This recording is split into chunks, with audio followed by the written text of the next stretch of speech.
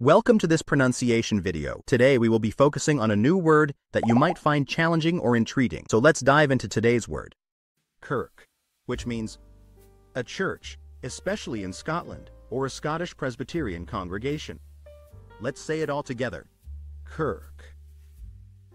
Kirk. Kirk. One more time. Kirk. Kirk.